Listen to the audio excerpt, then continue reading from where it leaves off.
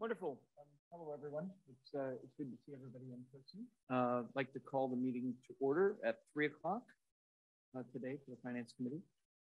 Um, I think the order of business is I need to do a roll call. So I will do that. I'm here. Uh, Lucy Neal here. And Stephen Casani here. Kenneth Levine here. Jason Pressman He's be absent today. Michelle and Bill Urban. Here. All right. Very good. Um, now I think we'll advance to uh, oral communications. Um, yes, in the back. Here.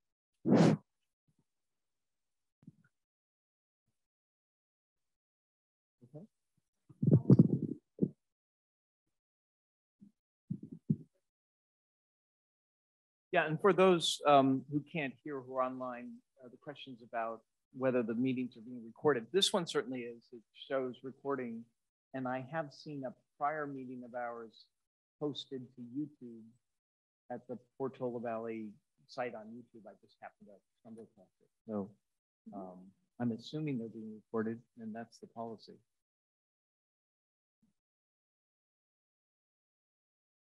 Okay yeah, I'm, I'm constitutionally unable to watch myself uh, do anything. So I recoiled in horror as soon as I saw. So I didn't notice which meeting it was, but I, I thought it was the last one, but it could be wrong. Um, I had something not on the agenda. Would it be now or number three? Now? Say, say again. I, uh, I wanted to bring up something not on the agenda. Oh, okay. I, I think that would be now. Great. Um, so I'm on the Portola Valley Race and Equity Committee. And uh, one thing we have been responsible for or worked on is the land acknowledgement that our town adopted. It's uh, it's on the bottom of the of the town agendas now. And so when this rolled out, um, there was sort of some some different reactions to it. So now our committee is just fielding feedback. So I'm just going to read the land acknowledgement if that's okay. And then I invite, um, since this isn't on the agenda and we can't have discussion about it, I would just invite anybody who has any feedback or thoughts or ideas about this to email me, if that's good. Okay, so the land acknowledgement that the town of Portola Valley has adopted is the town of Portola Valley acknowledges the colonial history of this land we dwell upon, the unceded territory of the Ramaytush Ohlone, Tamien Nation, and Muwekma Ohlone, who endured a human and cultural genocide that included removal from their lands and their sacred relationship to the land. Portola Valley recognizes that we profit from the commodification of lands seized from indigenous people and now bear the ecological consequences. We seek to understand the impact of these legacies on all beings and to find ways to make repair. Yeah, so um, just trying to, like I said, field uh, feedback from other committees to make this land acknowledgement the best one for Portola Valley. So I think everybody has my email address and I welcome your input. Thanks. Okay. Um, other comments from people either online or in the room? I don't see any hands. Okay, so um, I think we can proceed. Um, no announcements or presentations, so that would take us to agenda item four, and that is approval of the minutes from the January 18th meeting. Um, you all have them. Uh, does anyone have any corrections or comments? Or can I have a move, a motion to approve them? One of the last items was uh, states that there was a recommendation by the committee council subcommittee of this committee for the audit. I thought there was actually a vote. Yeah, you voted. You voted against it. It passed. Uh, right. The other ones would have been. Okay. Someone moved and it passed. Um, Sure. Um, would you like that reflected in the meeting minute minutes? Yeah, the minutes usually state that. We have a vote on Okay. Um, Resolved to recommend town council subcommittee this uh,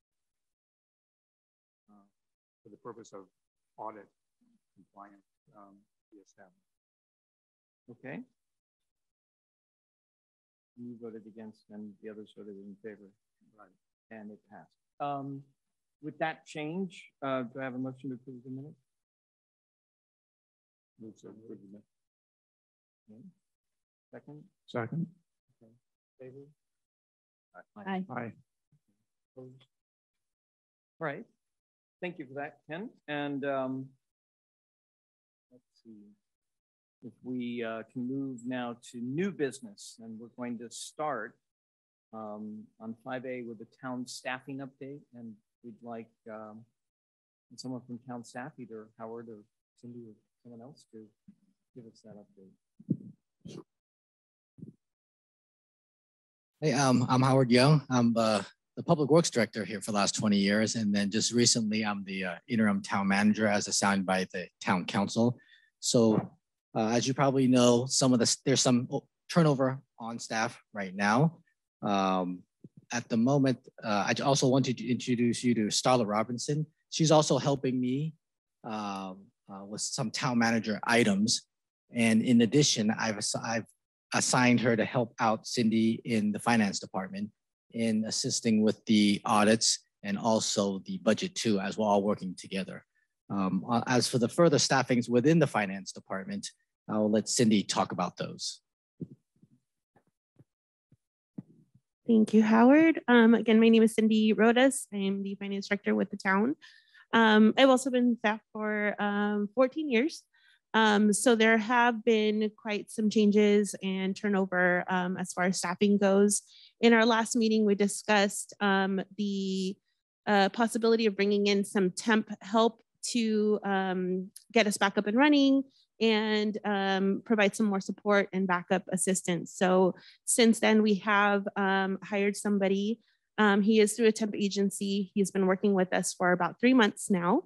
Um, but unfortunately, within the past couple of weeks, the newly hired, well, newly as of two years ago, um, our finance analyst um, has uh, resigned. Uh, so she will be leaving um, as of Friday. So Friday will be her last day. Um, I quickly went and um, reached back out to the same temp agency to look for additional backup support. Um, so I had somebody start today, actually, um, to begin a little bit of cross training before Nicole leaves on Friday. Um, so we are in the process of getting additional um, support and just continue that same momentum that we were already um, in working progress towards.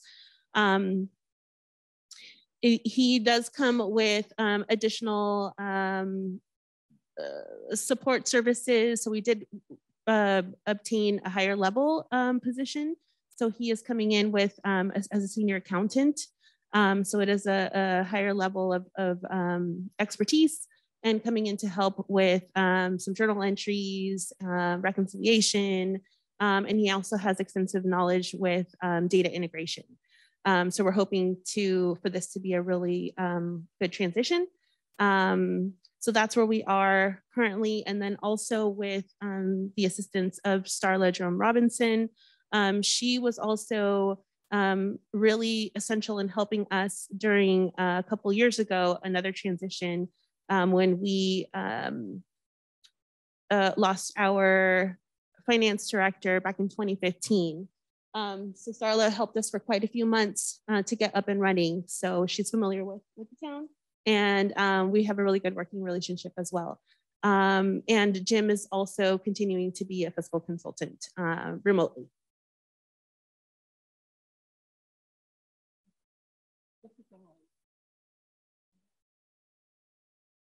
Had an you had a permanent, you temp.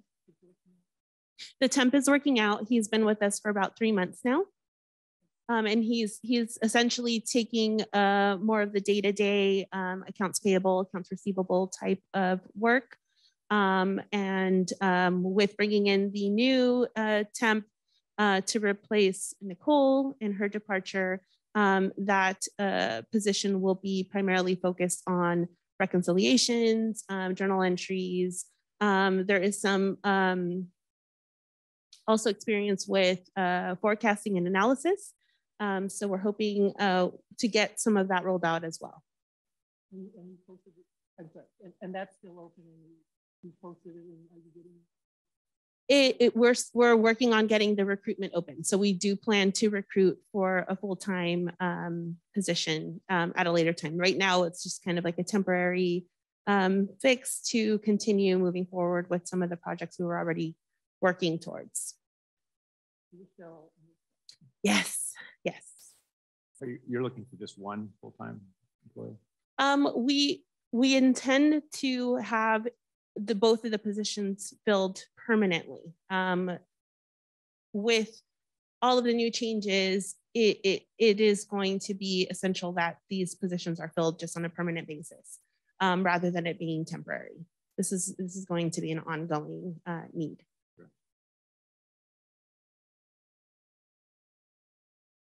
Um, it, uh, are the other um, departures of town, town um, center affecting uh, the finance department in an adverse way, or how, how is the whole most definitely. Um, we are all already a very small staff. Um, so with any departure, there's going to be some impact in other departments. Um, again, with also our uh, not having a um, town clerk position filled yet, um, that has also kind of offloaded some additional um, work in, in day-to-day um, preparation. Um, so, so yes, definitely. Um, any other vacancies have definitely impacted other departments as well. Any anything else uh, from you on the staffing update? Um, nothing additional. Okay. Um, how did everyone to particularly look at the um, audits that were so essentially, that would be a portion of what the um, new senior accountant um, would also be uh, assisting me with. Um, there will be a lot of my time that will be taken on bigger projects such as the, the budget um, and then also with some audits. So I will need a little bit of admin help um, and of course, um, any kind of uh, cleanup, anything that might result from from the audit, I would need some assistance also from the the uh, senior accountant. Any comments from members of the public on this agenda item?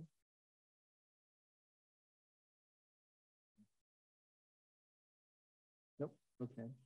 We can um, move on to uh, number B, which is related, uh, and this is to discuss to talk about the audit um, status, uh, plans for completion. We, we've gotten 19 and 20 out of the way, mm -hmm. um, which was great in January. 20 and 21, 2021, 21, 22 are, as everyone knows, still pending. And um, we had high hopes to get these uh, wrapped up here in the near term. Uh, I suspect with staffing uh, being what it is that there may be delays. So I'm, I'm wondering if I, Cindy, perhaps you could just update me on where you are um, what resources you need that you still don't have, and just how everyone is thinking about um, catching up on these audits and also putting in place processes so that we stay on time once we uh, catch up with the backlog. Yes, definitely. Um, um, with the uh, status on the audit, so currently for fiscal year 2020-21, um, we are in compliance. Unaudited numbers have been submitted to the state controller's office. We have received a um, letter certifying us of that. Um, and I am in the process of doing the same process for fiscal year 2021-22. Um, there are a few reports and things that would need to be generated from our financial system to be able to provide um, the documentation needed to our auditors in order to provide those unaudited numbers. So essentially the numbers that are provided to the state controller are uh, reviewed initially by the um, our auditing firm Maze, um, and then they submit um, the formal um, unaudited numbers to the state controller. So that's currently where we are as far as um, unaudited numbers to the state controller for compliance purposes. Um, we are still in the process of um, some data cleanup through the challenges that we've experienced with the implementation of the new financial system. Um, so we are in the process of, of getting those um, items cleaned up. Um, uh, one of the um, next steps with uh, bringing in Starla, we have discussed um, more of like a project timeline. Um, so we, we do intend uh, within the next few weeks, Starla, myself, and Jim uh, to come together and really come up with a project timeline to um, have uh, a specific uh, project plan moving forward so that we have um, these, these projects completed. Okay, so it's fair to say that right now there's not a definite or planned date, but that Right. you're intending in the next few weeks with the new core team Mhm. to put that together and bring that back. Correct. Add anything? Yes. And do we do plan to bring that plan forward to you for review prior to submitting? Sure, uh, we, we don't have to see it in advance. I, I'm just um, making progress on the audit as quickly as you need, as you can is, is key. Yes. And this will continue to be a party perennial in the um, agenda here for the finance committee, right? Because we, we need to get this uh, put into the rear view mirror along with everything else that happened during COVID um, to the extent we can. Definitely. Um, any discussion on this? Do we have a subcommittee now? Did we- did the town council approve, Well, that's accept our recommendation? Do we have we established a subcommittee? that that's the next uh, agenda agenda item to do to discuss formation of the audit subcommittee and inquire from the members of the town council uh, something we should be doing. We don't have a. Judith is here. Oh, Um, was it, did, was that ever discussed at the town council level?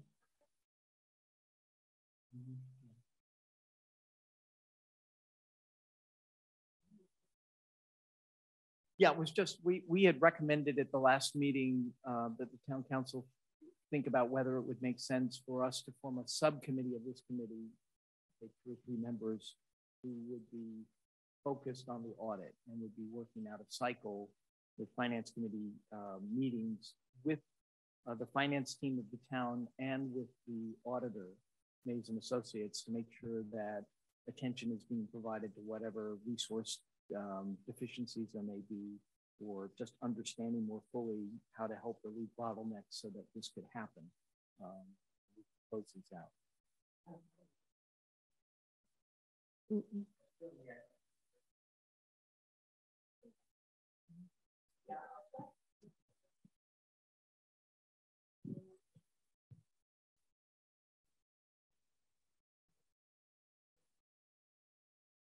Yeah, and that was, um, that was gonna be the next thing when we, I'm getting ahead of the agenda here.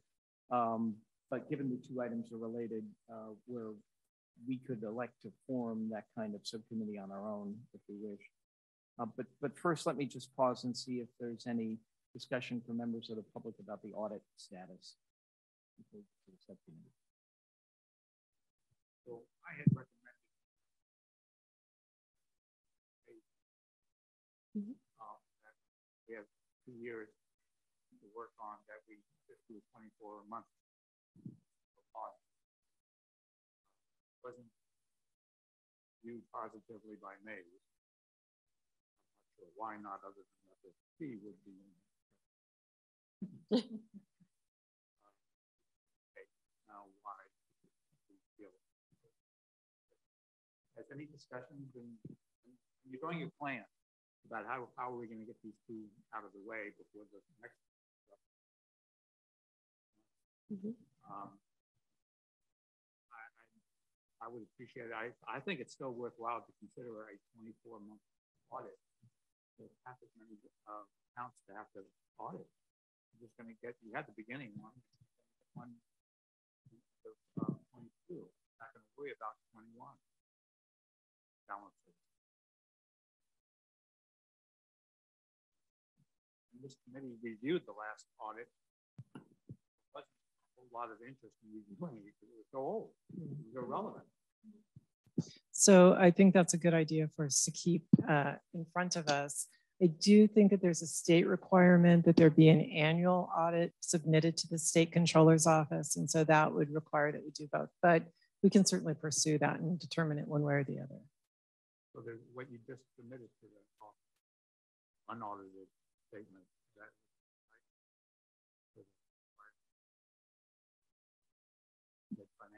Well, that's a different idea. So do it, uh, do two years and submit annually the unaudited numbers. Is that what you're proposing? Well, suggesting that we do not every year, two years.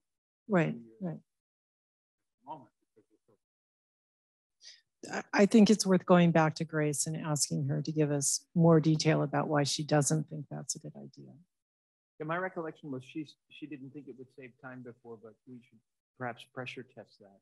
Right. I, I, just, just to follow up quickly on something mentioned. So we're in compliance based on the unaudited numbers. Is the state giving it, putting any pressure on us to hit a timeline with respect to an audit, or do they do they even require the audit to be submitted? There is um, there is a timeline that is um, given by the state controller's office. Um, pressure is is typically in the form of um, any fines if we're not in compliance. Um, so I have been in direct communication with the state controller's office and have provided um, a formal letter um, basically explaining our circumstances um, as far as staffing goes, um, issues that we've already experienced with the um, software system. So they are in receipt of that, that letter that explains all of that and basically requesting an extension and any waiver of fees um, as well. So they have uh, received that letter. I haven't received any response back from the state controller's office, um, but I have been in direct communication with, with them on, the, on that front. Thank you.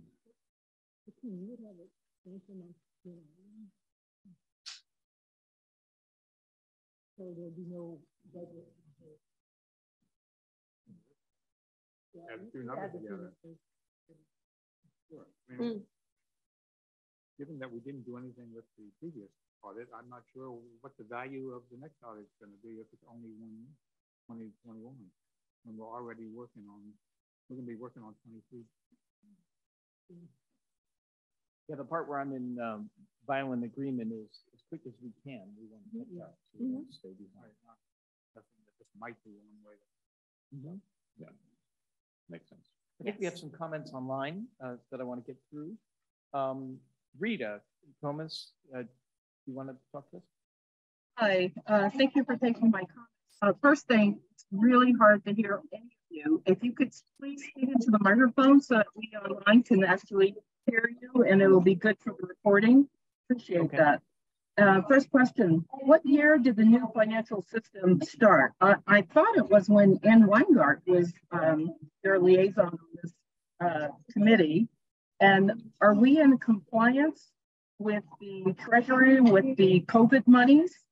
Um, I'm on a finance committee for uh, a nonprofit, and uh, you know we have to submit a lot of things. And I keep asking this question. I haven't really received an answer um, at the last finance meetings.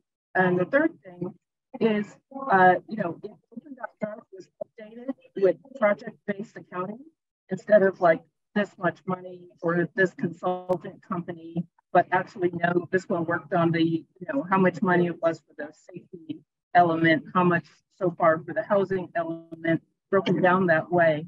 And I know that I'm not the only person that's been asking for that, but then this way, uh, the residents can actually go into OpenGov, which is not updated, and uh, and actually see these numbers.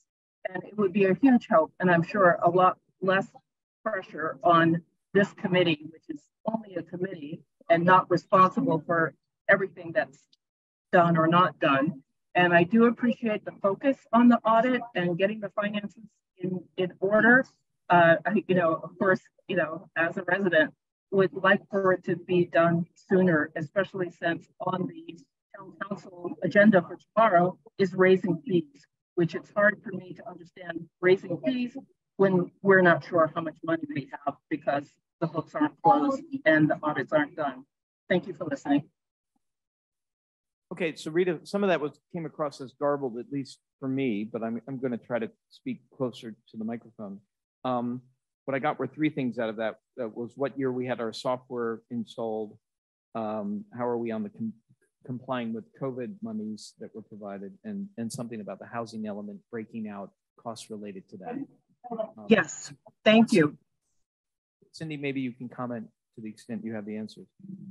Yes, sure. Um, excuse me, I'm still getting over, um, I was a little sick, very sick actually. um, related to the uh, integration of the new software system, um, the contract was signed in January 2020. Um, the implementation, the go live date was July of 2020. Um, so right during um, COVID, um, that's what, when we rolled out um, the, the new software system. Um, it wasn't actually finalized until I believe it was September of 2021. Um, but there are still a few components of the OpenGov system that are not fully developed that we're still working with their um, executive team to roll those, those items out. Um, in terms of the second item in ARPA related um, compliance, um, we have submitted all of the required compliance um, in accordance with the requirements uh, for the ARPA funding. Um, there is a new, um, or actually the annual report is actually due April 30th. So I'm currently working on that and um, it, the new report will be um, submitted prior to the um, deadline date of the 30th um, this month. the third comment uh, related to the housing expenses um, those items are not um, fully updated automatically within the OpenGov system and what's available online. Um, those reports are static reports, so they're not updated um, with any new um, expenditures. Um, that is part of what I'm also working on with OpenGov and rolling out a new system of reporting. So the reports that are provided through the um, online version of the OpenGov system are um, what is called classic reporting. Um, they have new gen, uh, next gen reporting, excuse me, next gen reporting that is now available, which actually implements um, an, uh, an overnight update um, every night to uh, update any information um, directly from our finance system. So that's part of what I'm also working on um, with OpenGov and rolling that, that part out um, to have real-time updated information. And so that real-time updates would include the housing element breakouts? Every expenditure Got that it. the town pays and, and authorizes through their warrant list. Okay. Yes. Um, I think uh, David Cardinal has his hand up. David? Uh, Sure. Hopefully you can hear me. Uh, two quick comments. One, uh, as far as the uh, speaking, I think the trick is that sadly you need to speak directly into the microphone and not turn towards the other panelists. So we can hear George, but if Ken turns towards George, we can't hear the microphone. So that's just a technical note. And on the the dollars, I, I think we're doing great personally. So I'm I'm good with what we spent and all of that. So I, I'm I don't have any complaints. So thank you. Great, thanks for the tip. Yeah, it's hard to avoid. I'm I'm here in person. I want to look at people, but uh, mm -hmm. then no one else can hear me, which may be a relief for some of you, but probably not good transparency. Um, all right, so uh, that was the audit status. Um, now we're going to move to C, which is the audit subcommittee. Oh, I'm sorry. Um, please.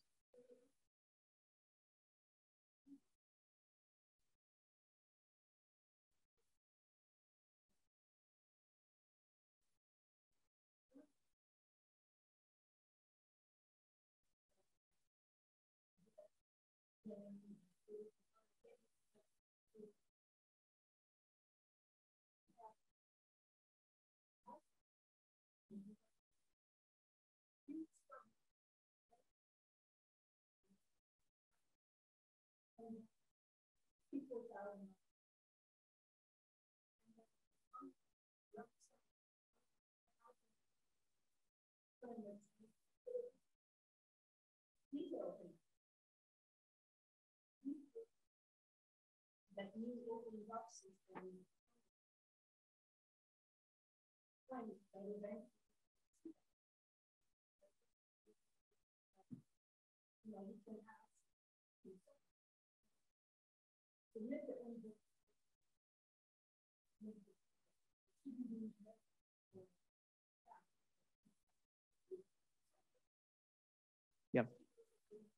And Caroline, let me just try to restate uh, what you said so people online can hear it because you didn't have a microphone. So what Caroline was asking, and correct me if I if I missed this, was that um, you believe that the OpenGov system would link straight through on transactions to the in, underlying invoice, and you had some concern with some larger lump sum payments that were an agglomeration of more than one invoice, say for consulting fees, uh, without that level of detail, and you're asking, what are our plans in that regard for the town? Is that right?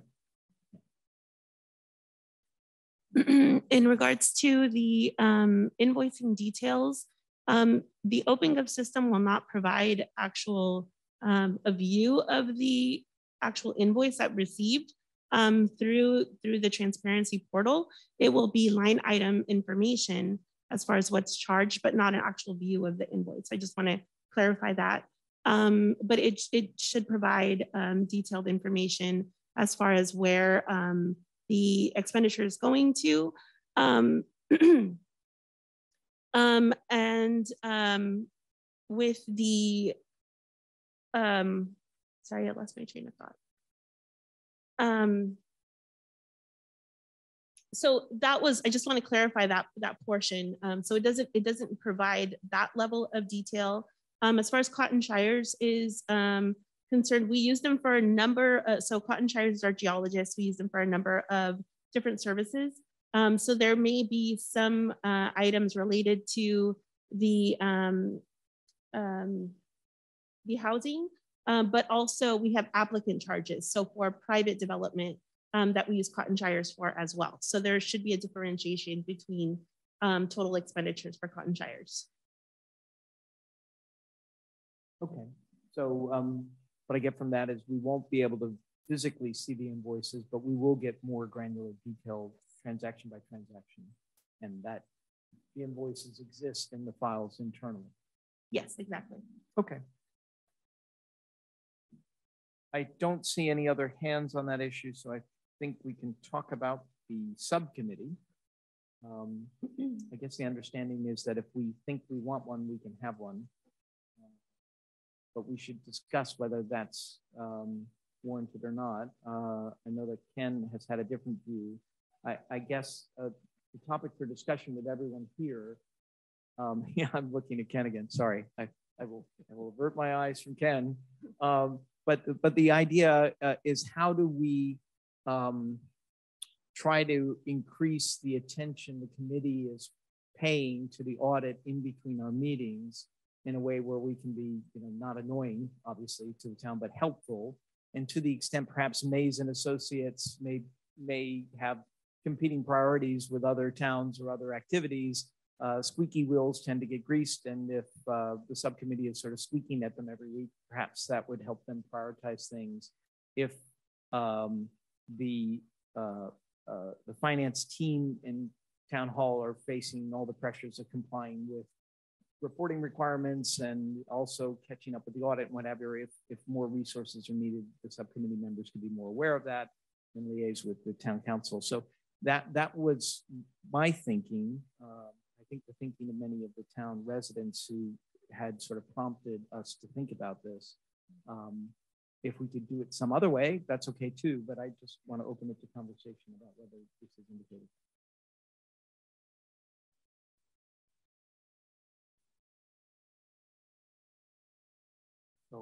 My my concern, George, is that a subcommittee that strives to do the things you were just describing uh, is just as likely to cause more problems and more delay um, as staff now have to pay attention to our requests rather than getting it done through Maze. Um, Woodside seems to not have a problem. They also use Maze. So it isn't clear to me that um, throwing more people um, into the pot here is going to accelerate. It may actually have the opposite effect. Anyone else thinking on that? You've heard from me, you've heard from Ken. It'd be great to hear from others.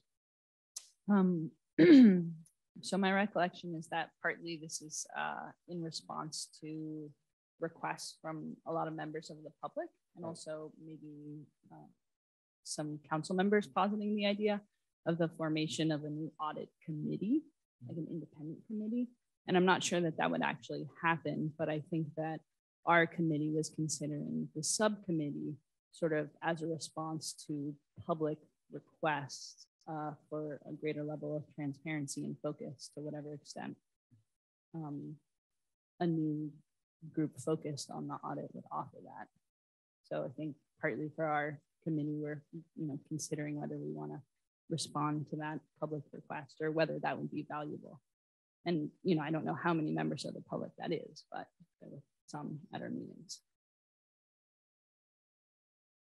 Yeah, that was that was the idea, and um, uh,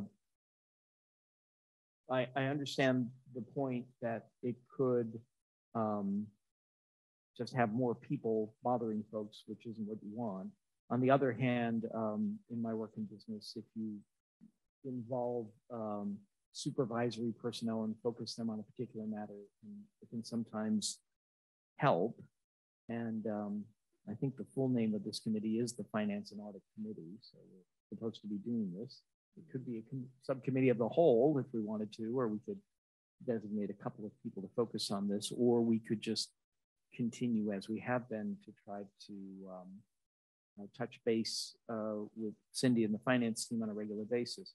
Um, the, the key point, again, and here I, I, you know, throw this back to the staff level is what would be helpful to you in terms of making this happen? Uh, again, this shouldn't be one more thing on your to-do list because that would be Ken's point. It's just going to take longer, in which case it's not a good idea. If it would be useful to be able to highlight uh, where additional resources needed in a more timely way to get you help, that would be fine. If it would be helpful to get more attention from Maze and Associates by having them have to have a meeting with us or something like that, and that would help you get a response from them, though then we're a tool that you could use in that respect, right? So what, what do you think? Um, I think I think some more communication, I think it would definitely be helpful to move forward with the plan that we've already kind of discussed and uh, moving forward with developing a, a, timeline as far as the, the audit goes and um, preparing um, realistic time frame as far as having the audit completed um, and bringing that plan forward. We can still report directly, whether it's with this a subcommittee um, or with directly just the entire finance committee. Um, I think that would probably be the best approach um, is really just kind of uh, doing that initial analysis and within at the staff level to determine what um, next steps forward um, with the changes of, staffing um, and then also bringing in Maze also and, and, and checking in with them as far as what their schedules also look like um, because that can that will also um, impact uh, our timeline as well. Um, so I think there needs to be a little bit of, of further discussion first in, uh, at the staff level as well as with Maze, and then we can bring forward um, a plan um, I don't I don't really have any uh, specific feeling with having a, a, subcommittee. So whether we report directly to the subcommittee or um, check in with the finance committee as a whole, um, that's fine as well. But I think first steps um, would be that discussion um, at the staff level um, and then also incorporating Maze. Yeah, I, I'm, I wasn't here for the discussion uh, last time, but um, I think I'm kind of aligned with Ken's point. Unless it, it, it's a well-defined kind of set of uh, kind of exactly what this audit committee would be doing and what the tasks are and what the uh, just what their role is. Um, it seems to me that this is more of a finance committee type of, uh, of a responsibility. At least that would have been my assumption. Um, so again, I'm open to it, but if if uh, if we do move in that direction, I'm just curious what the uh, what the exact role of the audit committee would be or subcommittee. Yeah, no, I, I haven't been probably the only accountant on the committee here. I actually did one or two audits in my lifetime. Um, I, I agree with you. Certainly, if we're not going to add value, which I don't see us, other than hearing the response, I think I think the first step is just to, as you say, take the steps you mentioned and report back to us. And if then we think the subcommittee makes sense. Otherwise, I think the committee as a whole can handle it. Mm -hmm. And and then you can you're allowed to communicate to send us emails on status, right? Yes. Bill, what do you think? It sounds like we're taking back our vote from last time to create a subcommittee? Is that? Sounds it. We talked about revoting. Let me explain my vote to create a subcommittee. It was solely because I had the belief that there's a very limited number of people on this committee that have the experience and knowledge to actually listen to the details, the, understand the issues that an auditor would have that Cindy is dealing with to add value. I'm not I'm not one of those people. I'm an investment cash flow kind of guy. So I voted for it because I thought we could identify maybe subcommittee could be as little as two members, correct? Um, that could really dig into it because it sounds to me from this report that there's going to be more work requirement on a couple of people to help you know, understand where the things are, to pull things together, get additional resources or focus, or come back to this committee if you need something special, you know, some kind of an allocation to like break through some logjam, whatever that is. Uh, because I'm not going to be able to add any value sitting as a finance committee listening to audit issues. That was the only reason I voted.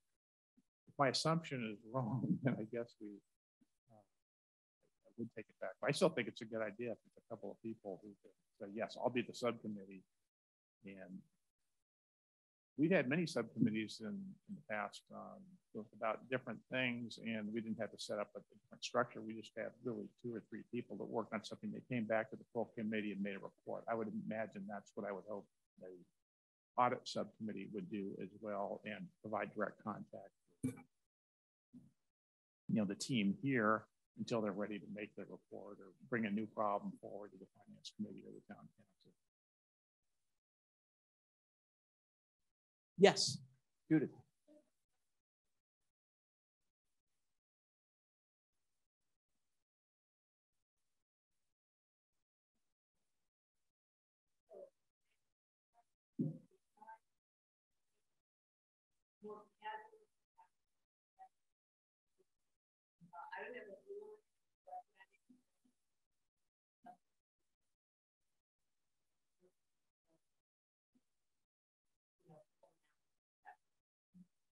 And, and for those online who couldn't hear due to lack of microphone, that was Judith Hasko, and she was pointing out that an advantage of declaring something a subcommittee is a cohort of members can operate in a less formal fashion without, you know, legal agendas and all the rest as you're doing these more casual interactions with town staff or um, the audit auditor in order to report back.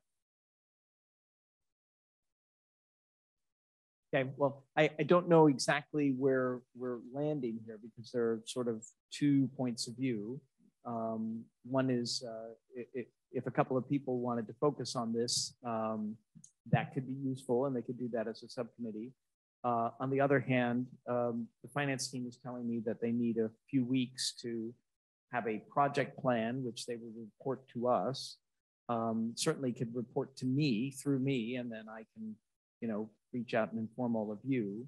Uh, we may want to table this until our next meeting, um, perhaps. Uh, I'll throw that out there for everyone to consider since I don't see a strong opinion in favor right now. Um, there's some arguments in favor, but there's a, uh, I would say probably a majority who feel that the whole committee should be involved. Is that fair? I think so. Yes. Well, if, if I can just add, I, I think that tabling it to the next meeting is an excellent idea. I think Cindy and I and Jim can put together a timeline and a task list. And then the audit committee, if you decide to form one, will have something to work off of, right? Like where are pain points, where are inefficiencies, what needs to get done, what, you know, is there something on our end, is there something on OpenGov's okay. end or the auditor? And, and perhaps later in this process, the finance committee would in fact add leverage in dealing with some of those external um, folks. All right, that, that sounds reasonable to me. Um, hands I see back up. First, anyone in the room here? Um, going back to David Cardinal. Oh, thanks. Uh, I think that from what we need, the finance committee is perfectly capable of reading the financials. And I've been involved in large corporations where we had audit committees and this and that but I don't see what value that would add um, in our case. Like, what would they do that we aren't already doing? Uh, we have a good auditor; they do a good job when we get them the data, um, and we have our financials. If you think the financials are wrong, then the time to uh, deal with that is before they're submitted. So in a corporation, the audit committee helps if you think the management is doing something kind of wrong. But our finance committee, to some extent, is the management. So I, I'm I don't know if we want to have one, great, but I don't see it adding. Uh, what are they going to do that's different than we what we're doing now, except spend more taxpayer dollars on staff to support them? So that's my naive perhaps thought. Thank you. Thank you. Um, Rita, I think you have your hand up. Uh, yes, and I hope you can hear me. Um, sorry, where I am, it's not, um, my connectivity is not very good. But, um, you know, I was part of the group that suggested that we have a separate audit committee. Uh, this, this group, this committee is wonderful but with the severe delay of the current financials and the audits, this is not just this year's audit, but you know, for several years. And we're, we're basically talking about almost the exact same committee and the um, same employees, at, well, along with some um, temporary help. And if there is a way that the people, residents that are quite concerned can help with this, even put together an outline so we can move forward or the residents can feel that something is moving forward, that would be wonderful. Thank you for listening. Sure, that, that's um, an interesting point. I think involving other residents who aren't on this committee, though, would involve the town council in some way, shape, or form. Um, and uh, Judith is nodding yes. Uh, so I, I appreciate the comment, but I think that moves beyond where we are. Um, I think that closes out this issue. Uh, without objection from anyone here, I think we'll table this until the next time we get together. And oh, someone in the back.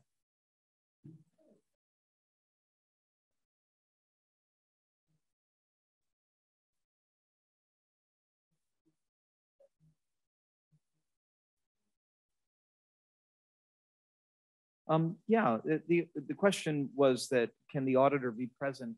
Um, typically the auditors are here when they have the audit for discussion. At, at, our last meeting, Grace Zhang was here uh, when we discussed the uh, 1920, fiscal year 1920 audit.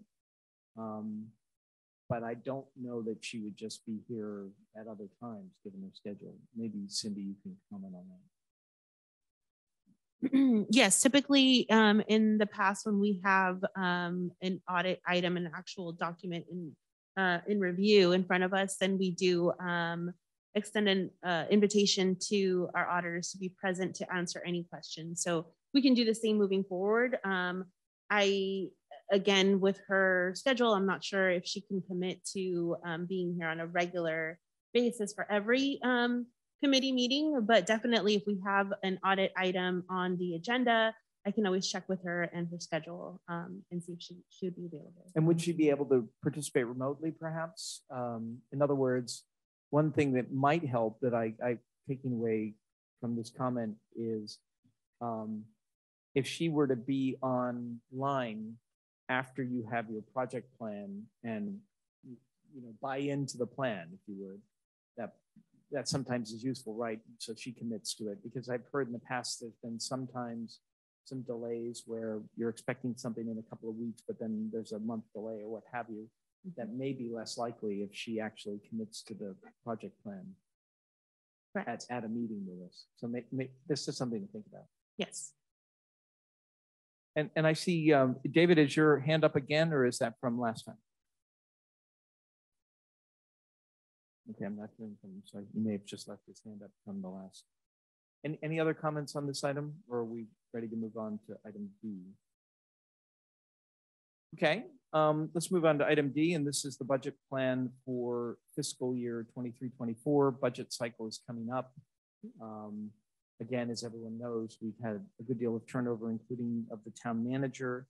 Uh, and so um, things are no doubt a little bit more exciting than usual. Cindy, you can maybe tell us what you're planning to do, Howard, whoever wants to talk about the process this year. Yes, um, I can I can start out and then um, have um, additional uh, comments. Um, with the the plan moving forward with the upcoming budget preparation for fiscal year 2023-24, um, the there are a number of um, of items that we would really like to focus um, our budget uh, preparation around. Um, mainly, there is a renegotiation for the sheriff's contract. Um, so that has been a huge component um, of a, a, rather large expenditure on, um, on our budget on an annual basis. Um, with the upcoming negotiations, the draft uh, contract that they've proposed, it is, is quite an increase uh, to the contract. Um, so How, how much, is- can you comment? uh, it's about, what's it, eight hundred, about eight hundred thousand. In- Um, percentage terms, what is that? right, yes, yes.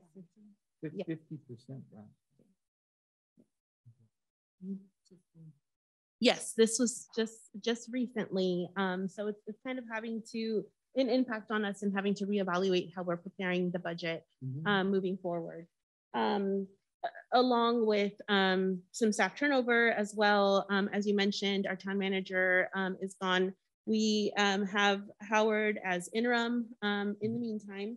Um, but the, uh, town manager, Jeremy, in the past has provided a lot of, uh, support and uh, contribution to the, the budget. So um, in light of, of uh, a number of changes, um, also some impacts with um, the, the system, the OpenGov system, and reevaluating um, what these large expenditures would be. Um, what we were proposing is um, essentially um, taking our current budget with a few modifications and, and really planning that uh, moving forward with our budget. Um, and then at a later time, um, we, maybe when we do have a permanent uh, town manager, we can always bring forward a revision at a later time uh, to incorporate any um, changes, um, any updated information that we may have related to sheriff's contract or other expenditures of uh, information that we do not have at this time. Um, so that's the initial plan uh, moving forward um, as far as the the budget. Um, and then I'll, I'll let um, Starla or, or Howard um, add any additional.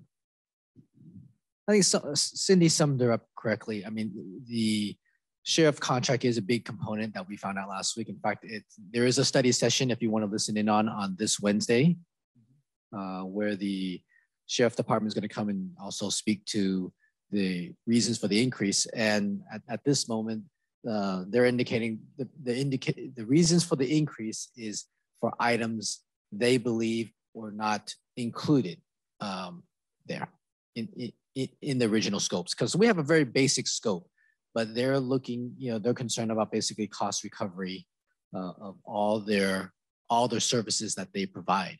And so if you want to hear more about it, I think you should listen in on the council meeting uh, Wednesday. So, but it, it, it is a it is a big amount that we're going to have to we're going to have to really look into the the our, our general fund. Um, obviously, you probably know the amounts, but it's you know it's probably not sustainable. Um, and what are we going to do about it? So those things we'll have to because we just found out, we'll have to marinate it more on it. We'll have to discuss it at the uh, uh, presentation on Wednesday night. When, when, does the current contract expire? Does this? June 30th. Okay, so this is this coming fiscal year. Yes.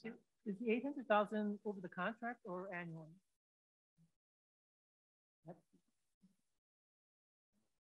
Okay. Like 2.4 million. It's like a three year. And, Inflation and, wasn't that. And that and that was the increase, right? So the the mm-hmm. total is how much now? It's like um, I, I think it's 2.3 plus or Annual. minus annually, For, right? for one and a half people. For 24 hour coverage, every it's 365 days a year. Well, what, but it's one and a half. Don't It's share- one. It's Don't one. share? I thought we shared half of it. We don't share anymore? Uh, there are some auxiliary services, a portion of a detective, a portion of administration, of administrative sergeant, but the coverage in Portola Valley is one person 24 hours a day. I, I I think I think the way I heard it described in a conversation I had with Greg Monks was that it was we had a dedicated Woodside had a dedicated and we share half of the room. Right. Is that correct? Well, it, it may have been at some point, but they're saying at this time, it's one person in Portola Valley 24 hours a day. Okay, so it's not yeah, all right. So we're not able to share. I'm sorry. and. For that one person, it's again, how much? Two years? Oh, well, the one person, I mean, it's not just one person, right? It's just somebody is present, but it's still, I think, $2.3 million a year. It- 24 hours. so it's Right. Right. But there is a proposal. It is on the council agenda and I would, so that we're not giving you misinformation because we're not really prepped to talk about it today. Okay. I would encourage you to attend that because it, I mean, it's going to, you know, we cannot identify $800,000 in the budget that can, can pay for that in addition to all the other existing services. Well, we now have a new top item for the finance. Okay. I'm sorry, so you don't have Any dates as to when we would see the bu- the budget then? or- So the plan uh, for the budget is, is essentially what we've done every year. So we typically bring it forward to the finance committee at the end of uh, May for the initial review um, with a recommendation to move it forward to council at their first meeting in June. Um, And then, of course, we have the public hearing at the second meeting of June uh, for formal adoption. So we plan to still continue with that same timeline and still, still the same process. Um, and essentially today, um, what we're looking for is just a recommendation from the uh, finance committee to move forward with the, the plan that we're proposing is, is really just um, essentially taking our current existing budget with some modifications um, to also incorporate these, these uh, known expenditures at this time. So right now we're scheduled. that kind of May. The week, yes, the So week roughly- of, the last week of May. Yeah, and I may, I, I, I need to be in Europe on that date, so I may try to change this if we can, if I'm needed to be here, uh, for May thirtieth. Twenty-third, I'm, I'm actually need to be in Europe on business, and I apologize for that. We, we can take scheduling offline, Yes, because I'm the one creating the problem here, but, um, anyway, end of May. yes, end of May. And um, the proposal sounds reasonable to me that we just carry forward and then seek input from obviously the town council on priorities and um, the key thing is going to be how we manage the public safety budget.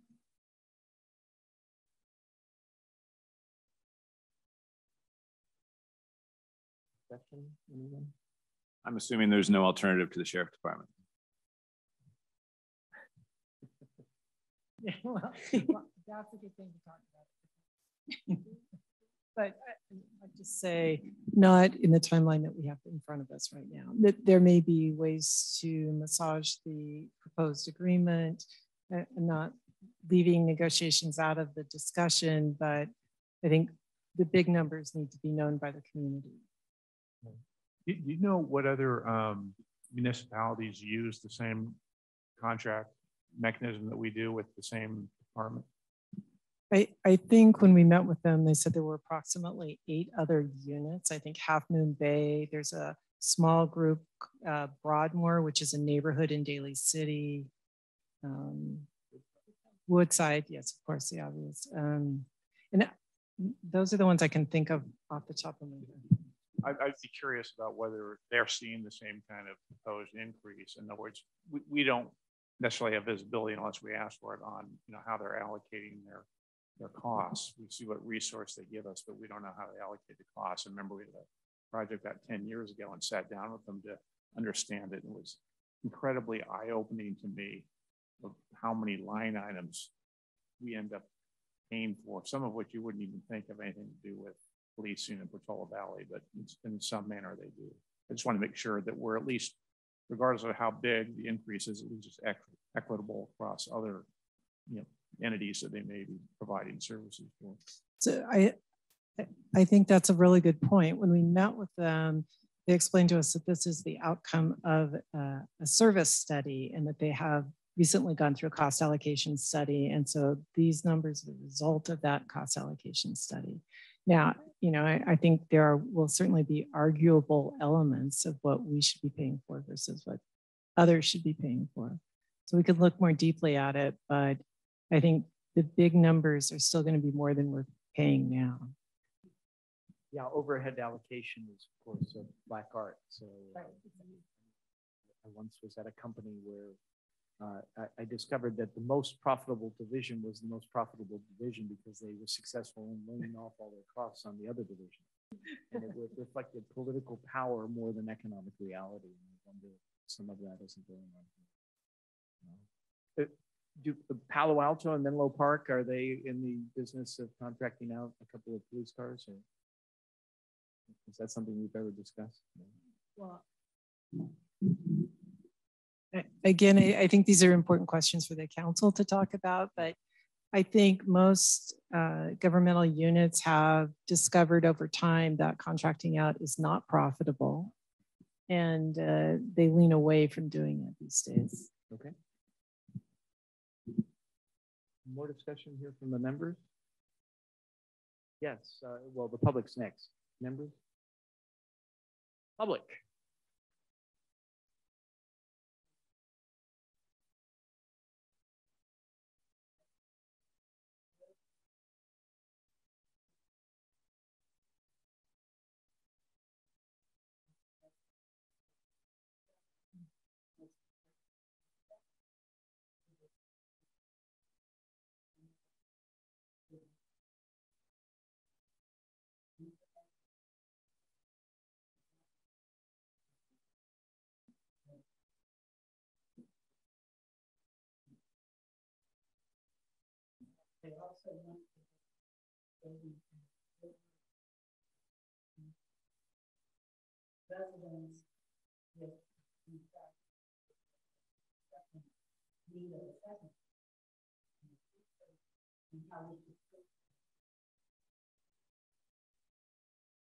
Those are all good points. Um, and indeed, um, something that will come back when town staffing settles down a bit. Uh, originally for this agenda, I was hoping to talk about some of the longer term implications financially of implementing on the new housing element over the coming years and exactly what you're discussing, because as we add more and different kinds of housing, we'll put stress on things like roads and public safety and other things. And um, we don't want to fix one problem and, you know, cascade straight into another one. So, uh, but we'll, we'll wait for a town manager help us out with that. Anyone online want to comment on this before we move on? Okay. Um, great. Next Wednesday, town council. We'll find out about Tomorrow or we? Oh, it's tomorrow. I'm sorry. Wow. Okay. And where on the agenda is the, uh, I mean, like, is there a rough time? Thank you for pointing that out. Here I was thinking I had a week.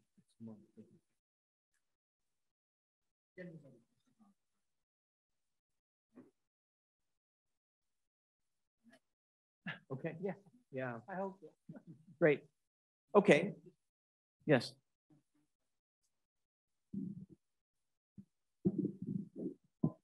there are there are things upcoming with the post-adoption housing element too. There's consulting costs so that haven't been determined yet. So there are, you know, there's not only this cost, but there are other costs too that consider that are coming up also.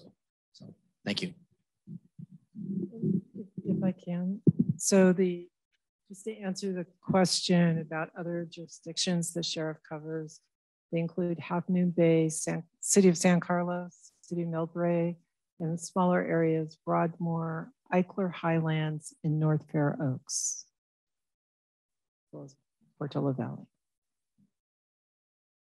Oh, and Woodside, yes.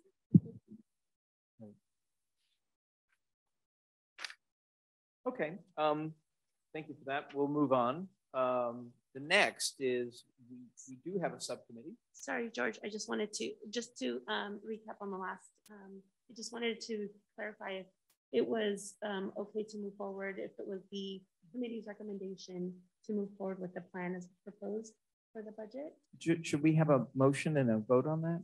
Is that, is that needed? I would say yes, that would be for Okay. clarification. Uh, do I hear a motion to proceed uh, with the recommendation to proceed on the budget as Cindy proposed? And that is to, for you to prepare budget. Yeah, so it would still be uh, brought forward for review by the Finance Committee at the uh, last week of May. But essentially, the preparation of the budget will include um, the current existing budget for 22, 23 um, with some modifications um, with existing known items that will impact uh, for the upcoming year.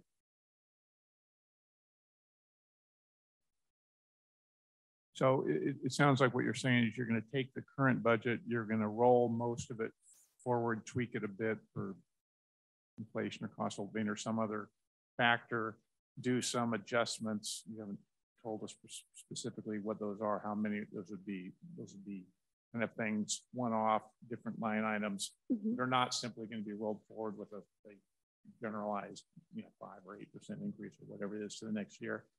And you're going to make revenue project. You didn't tell us what you're going to do on the revenue side. All I've read that there's some expectation property tax revenues will actually drop from what they were. But um, what kind of projections are you likely to make on the revenue side? Are you simply going to roll forward last year as well with On the revenue side, not very much, not very many changes on the revenue side.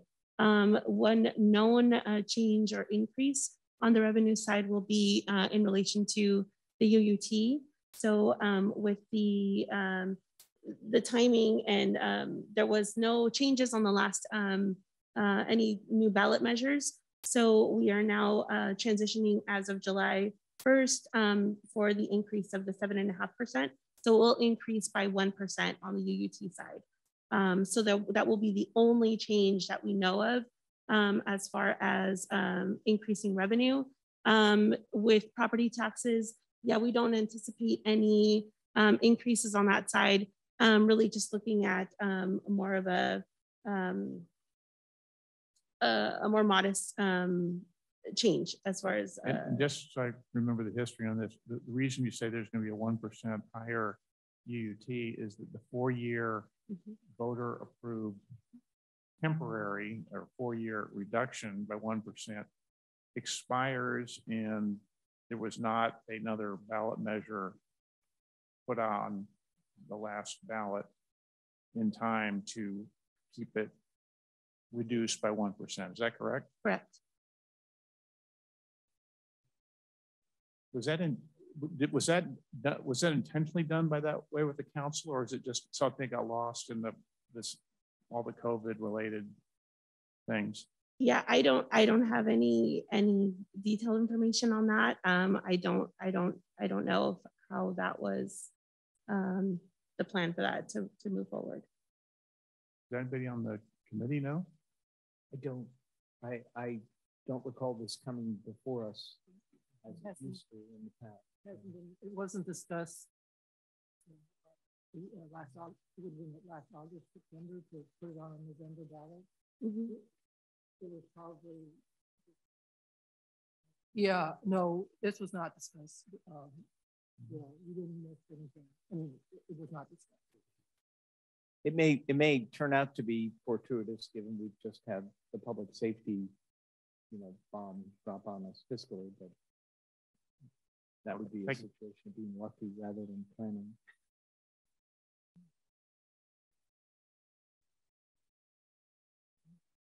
Yes.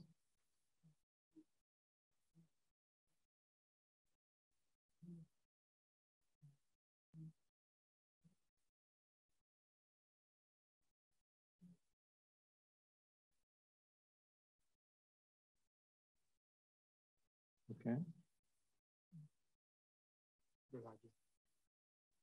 Parking lot. because of the- And, and for those online, uh, the suggestion uh, was that we look, the town look to its rental revenue from various um, properties it owns that it leases.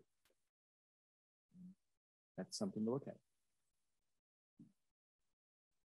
Yes, Howard. Oh, no, it didn't. I did move. You did move. Is there a second? On the, uh, proceeding with the budget as just discussed. In favor? I'm gonna vote present. All right, we, we, we have, um, uh, Mr. Urban voted present, but everyone else voted aye. All right, so it passes. Um, so next we'll move on to item E, which is uh, a report from the Inclusionary Housing Fund Subcommittee and discussion. Uh, just by way of um, background for everyone, at the last meeting, we um, discussed how to allocate inclusionary housing funds. Uh, there are various funds in the town that comprise, I think, nearly $5 million.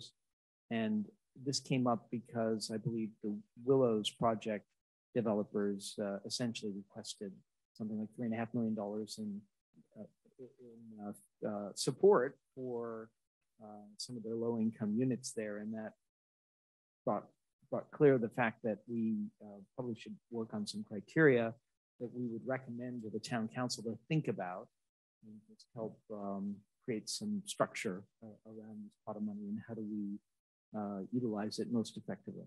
And so with that, I will hand it over to Stephen to report on the subcommittee. Uh, thanks, George. Um, so the subcommittee was myself, George, and Lucy. Um, we had a, a, number of communications. Uh, Jeremy was involved at, at, the beginning as well. Had some had some thoughts that he shared. Um, we have a call it a 4.6 to 4.9 million dollar inclusionary house fund, uh, housing fund um, that we're looking to to optimize how we use it and what is the correct strategy um, in terms of moving forward. Um, the goal is to optimize the use of the funds so that actually creates uh, units of, of, affordable housing. Um, and at the same time, incentivizing developers, but, but not in a way that uh, results in, in excessive profits, because the point is to try to bridge the gap between maybe a, a project that might not be viable um, and make it viable. Um, we looked at a number of options. Um, they kind of fell into three buckets. Is how we're going to, excuse me, discuss them. Um, and then we'll, we'll have a recommendation, but uh, I want to open it up to discussion as well. Um, first is, is to purchase a site um, as an alternative to Dorothy Ford Park uh, for low income housing. Um, Jeremy had, I don't know if he had discussions, but uh, had, had explored the possibility of acquiring property owned by George Stern's family or heirs. It's about 20 to 30 acres behind town center. And the thought was maybe have half of it for, for uh, inclusionary housing and maybe half for a park or open space. And maybe there is ways to, to use the fund from the IHF fund, but also maybe parks and, um, and open space funds to accomplish that. Um, so that's one idea, and it could be it could be another parcel of, of land. Obviously, there's not a lot of these opportunities within the town, uh, so the opportunity set would be quite small. Um, another option would be to dedicate the funds to improve or decrease the visual impact of, of another large uh, low-income housing project. For example, at, at Dorothy Ford Park, um, this uh, could potentially move the needle in terms of getting community buy-in and approval of the project um, and would augment a, a another large project um, and theoretically use most, if not all of the funds for, for something like that. Um, and then the third would be to um, provide a, a, a subsidy uh, to developers that are seeking to build um, market rate housing, um, but there would be a below market rate component um, as a requirement to, to uh, construct the, the project. And in this case, the subsidy would go towards, again, making that particular, particular project viable with incremental uh, units of affordable housing. Um, so those are kind of the three buckets. Um, the options one and two, um, again, the opportunity set is small. We made, we don't really control uh, to some degree um, either of those. Um, it was, as George mentioned, um, the Willow Commons had requested a subsidy in, in, in, in their development. So it's not, um, it's not something that we haven't seen. Um, but there may not be a lot of opportunities to do that. And we've, we've got a lot of money sitting in this fund that we want to get to use, get to use uh, sooner than later. Um, so we think option three, which is the uh, subsidy for developers to include additional um, below market rate housing in their projects uh, would be the way to, to get the funds out hopefully soon um, and in a way that's impactful and, uh, and does move the needle in, in getting incremental units.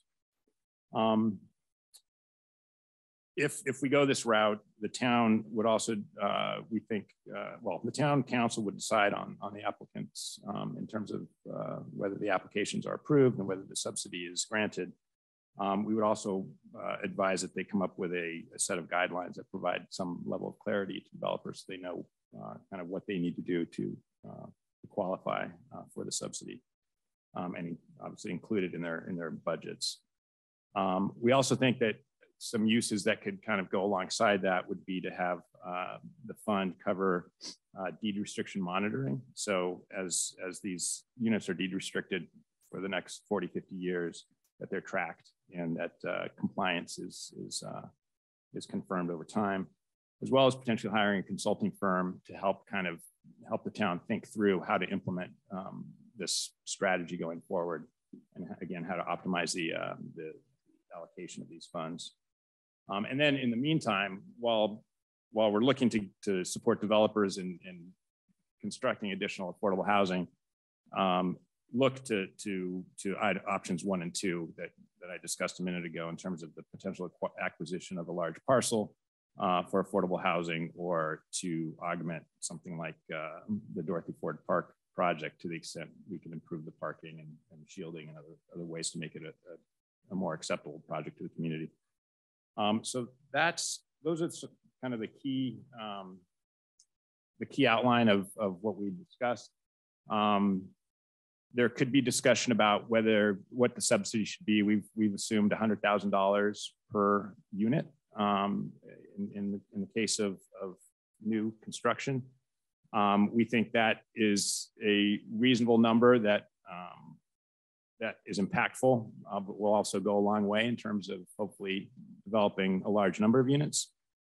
Um, we also discussed the potential for there to be some sort of scale. So to the extent it's deed restricted as a very low income unit versus a low income unit, perhaps that gets additional um, additional uh, funding in terms of the subsidy. Um, very low income units, the economics are significantly less attractive to a developer than a low income unit. So that's the theory there. Um, we also discussed ADUs and JADUs, and I don't know if we want to go into that detail, but um, because we want these funds to actually provide additional units as opposed to maybe reward reward people for for deed restricting ADUs or JADUs. Um, it gets it gets complicated to to to allow uh, or to to allocate funds from this fund in support of ADUs and JADUs. Um, we're not sure it actually will encourage additional development of ADUs and JADUs or deed restriction of those units. It's such a big financial commitment for somebody to build an ADU and then deed restrict it. Um, our thought is that $100,000 really won't move the needle there. So it would be more of a reward for, for somebody doing something that's great for the community and altruistic and so forth, but we're not sure it actually uh, will encourage additional uh, development of ADUs and JADUs. So that's kind of where we ended up on that on that point. And I that's that's really it. So I don't know if you want to open up the discussion. Yeah.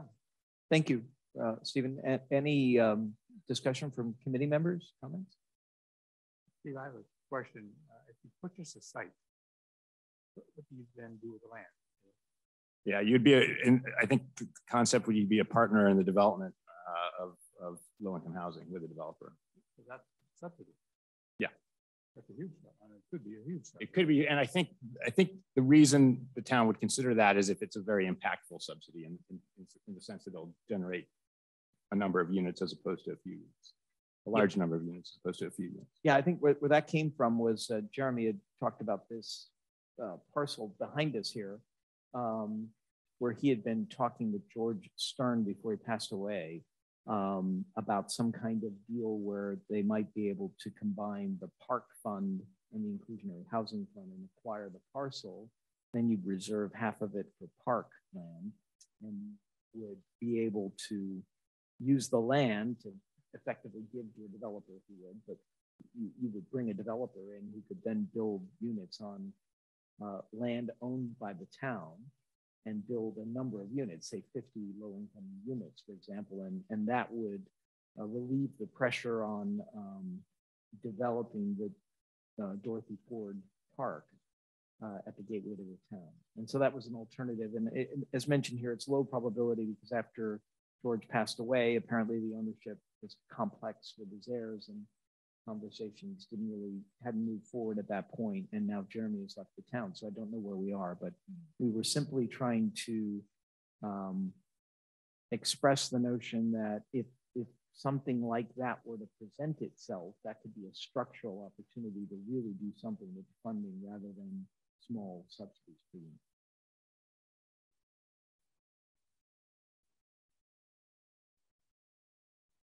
Any other questions, comments on the committee?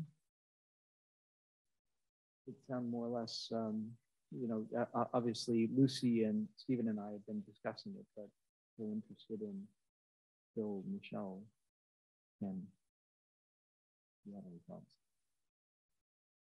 I'm sorry, so what's the next step? Well, it would be whether we should um, submit this recommendation, I would think, to the town council. You know, you know we, we, wrote up what we described, what Stephen just read to you, as something for them to consider as they think about how to use these. Was your recommendation option three? It, it, it, was to focus on option three, but keep in mind options one and two, because you, you, can't focus on one and two because they're sort of um, the kind of thing that they may or may not present themselves. Right. Yes, Judy.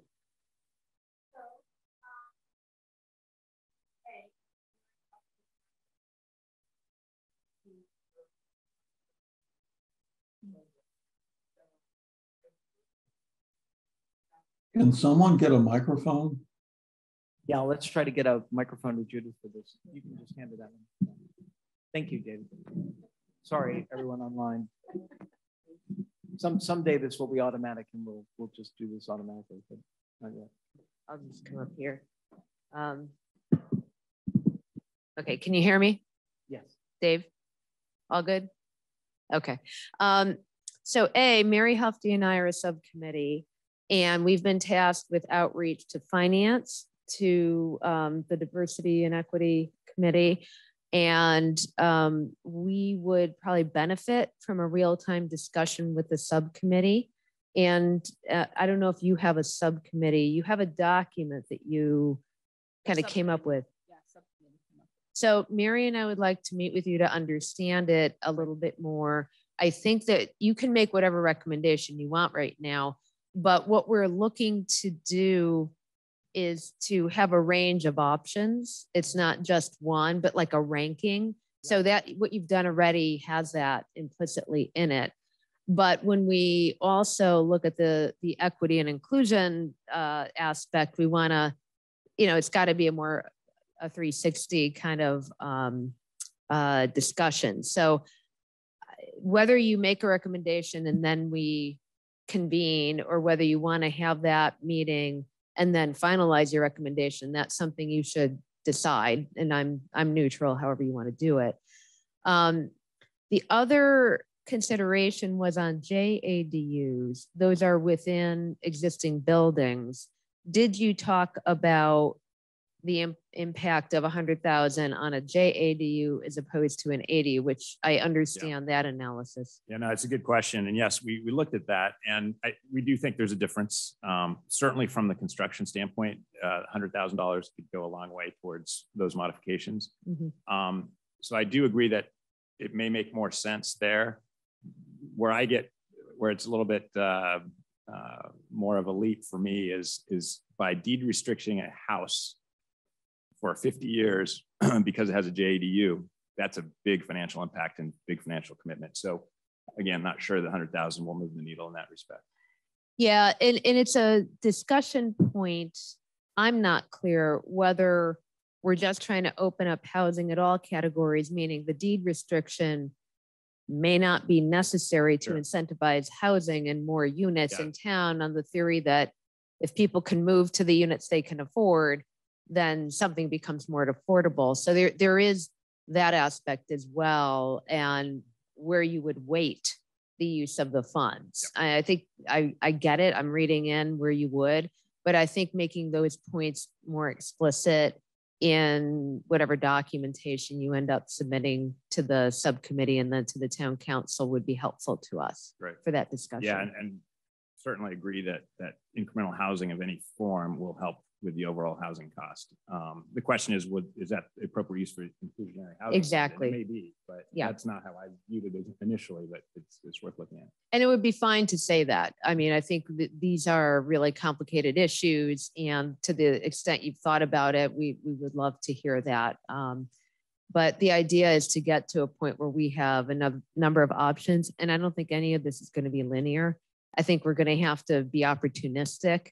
So if all of a sudden um, the property in back of town center became viable, my understanding is right now it's a very confused situation legally and uh, with the people's interest in it being in flux. Um, that if that became available, we might want to pivot to that. So we need a recommendation that helps us weight things and you know whatever context around that you want to put would be really helpful to us. So, but thank you for the work you've already done. It's going to be really helpful. Uh, we've just got to get a policy pulled together in the relatively near future. Well, I, I- think my recommendation, given the subcommittee that you just told us about, is for us to get together, as you just Okay. des- described, before we do any formal recommendation.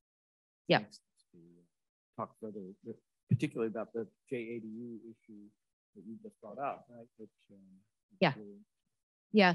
So I'll get together with Mary and we'll coordinate with your subcommittee and uh, we'll do the same, Lucy, for your committee. And hopefully, and there may be others to touch base with, but you two were the, the ones we wanted to start with. Thank you. Okay, Thank you. It's great. I think- George, um, can can you go through again? These funds are coming from the inclusionary fund. Right. What's the legal use of those funds? Yeah, I, I, I believe that they're for affordable housing. Uh, but I don't know, I'm not a lawyer, so I don't know what the exact restrictions are, but they were part of, um, you know, they come from various subdevelopments. Uh, where when somebody subdivides their property, they have to make a payment into this inclusionary fund for affordable housing. Right, 'cause otherwise they have to provide the, in the Right, they would that's have right. to provide it. Yeah. So it was meant for In lieu not of just fees. general housing, but, uh, below market housing. Yeah. Right, And it- probably. And one, one of our conclusions, frankly, uh, as well, was that fees in lieu of actual housing doesn't really do us that much good, right? Because we, we wind up with fees, but people can't live in fees. So we need the housing. So staying with the concept that this is a fund that's been set aside over a number of years, do we know how many years it's taken to uh, for it to reach the five million value? Uh, I don't. I don't. Understand?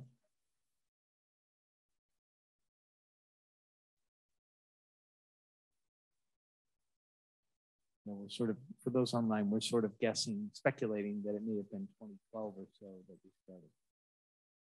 Well, my thought was that we might want to try and balance the number of years of this. We'll, we will continue to have inclusionary funds collected in the future. Right. Um, and that we may want to balance the funds that we're not spend the whole $5 million that maybe has taken us 18 years or 10 years or something to develop. Uh, just the next eight-year plan. Mm-hmm. Taking 15 to 20 years, maybe we want to spend it over 15 to 20 years, which means some of it in this eight-year plan and then the next eight-year plan. So there's a continuing, continuing amount of money that we can. Just to, to chirp in, almost all the money I think came from Blue Oaks when we sold the lots there for three and a half or four million dollars plus interest so far. So that was and that was whatever date that was. So I think that's where most of the money has come from so far. Thank you, David. Yeah, I think that's right. And, and I think Ken brings up a good point about long-term sustainability, but then we do have the, the issue before us right now, which is this uh, singular and hopefully not to be repeated in eight additional years, uh, RHNA allocation that we and other rural towns are struggling to meet. Um, you know, uh, what one can look to, to the future and hope that the housing pressures are somewhat alleviated by the time of the next RHNA process or whatever replaces where we are now. So I, for one, would be in favor of trying to get as much affordable housing as soon as we can um, to help make that less of a problem in the future. But um, I don't know how others feel. Um, yes, yeah, so I, I, guess we can move to including the public here in a general way. That Christina. Oh yeah, yeah, we should use the microphone now. Great idea. I just had a clarifying question.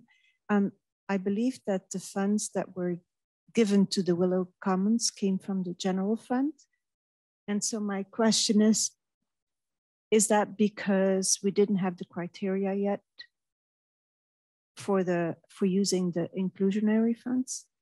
Um, my understanding, the last time I talked to Jeremy about it, was that it was dispersed out of the general fund, but it may eventually come out of the inclusionary housing fund. But I don't know if that's been determined yet.